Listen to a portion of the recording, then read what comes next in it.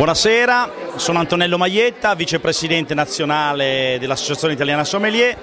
Questa sera abbiamo presentato qui a Milano, in questa serata di degustazione organizzata da ICE Lombardia, 5 champagne di aziende piccole, di aziende molto particolari. Abbiamo presentato dei recoltang, ossia dei produttori di champagne che vinificano esclusivamente le proprie uve, quindi le uve esclusive della propria vigna. 5 champagne orientati sui territori differenti, abbiamo spaziato sulla montagna di Reims con eh, soprattutto prodotti eh, realizzati attraverso l'assemblaggio di Chardonnay e Pino Nero, così come un grande interesse in apertura di serata ha suscitato un prodotto proveniente dalla Côte de Blanc da Chardonnay in purezza dell'azienda Bernard Pertois. Bernard Pertois è un piccolo vignaiolo che fa circa 30.000 bottiglie. A seguire le aziende successive invece erano leggermente più grandi, nel senso aziende che producevano circa dalle 40 alle 50.000 bottiglie, comunque piccola cosa considerando che le grandi maison di champagne sfornano milioni di bottiglie di grande livello qualitativo. Dopo ci siamo spostati su dei rosé, rosé interessantissimi, sempre della montagna di Reims, dell'azienda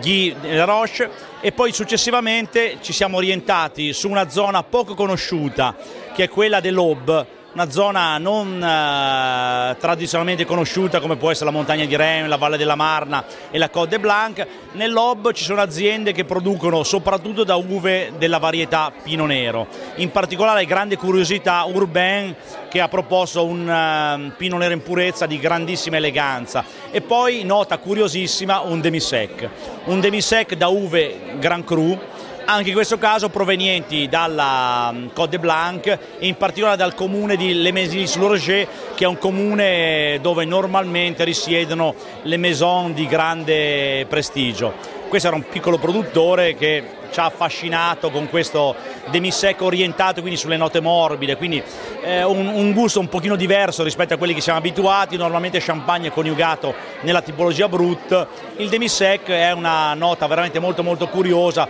tra l'altro anche le quantità di questa produzione erano molto limitate perché parliamo di un prodotto tirato in circa un migliaio di bottiglie, quindi veramente poca cosa rispetto ai grandi numeri a cui siamo abituati. Soprattutto occorre ricordare che Champagne nostra, nel nostro immaginario è un prodotto di, di grande elite, di grande richiamo, di grande appeal, però è un prodotto, attenzione, vale la pena di ricordarlo, prodotto in svariati milioni di bottiglie, parliamo circa 380-400 milioni di bottiglie, collocate su dei profili qualitativi eccellenti in tutto il mondo.